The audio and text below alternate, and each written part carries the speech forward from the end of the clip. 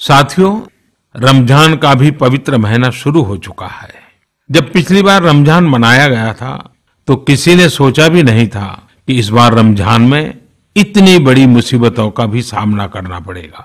लेकिन अब जब पूरे विश्व में ये मुसीबत आ ही गई है तो हमारे सामने अवसर है इस रमज़ान को संयम, सद्भावना, संवेदनशीलता और सेवा भाव का प्रतीक बनाएँ।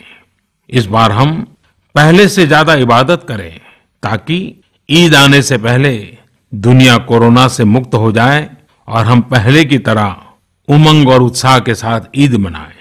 मुझे विश्वास है कि रमज़ान के इन दिनों में स्थानीय प्रशासन के दिशा निर्देशों का पालन करते हुए कोरोना के खिलाफ चल रही इस लड़ाई को हम और मज़बूत करेंगे।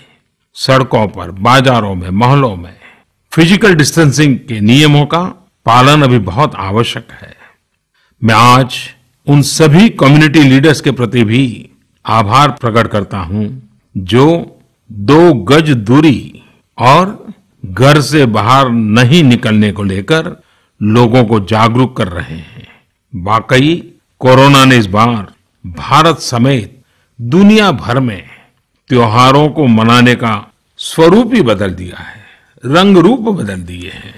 अभी पिछले दिनों ही हमारे यहाँ भी बिहू, बैसाखी, पुथंडू, विशु, ओडिया न्यू ईयर, ऐसे अनेक त्योहार आए।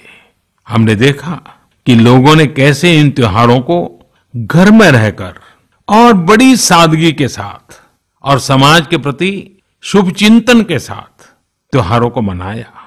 आमतौर पर वे इन त्योहारों को अपने दोस्तों और परिवारों के साथ पूरे उत्साह और उमंग के साथ मनाते थे।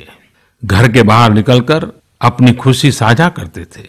लेकिन इस बार हर किसी ने संयम बरता, लॉकडाउन के नियमों का पालन किया।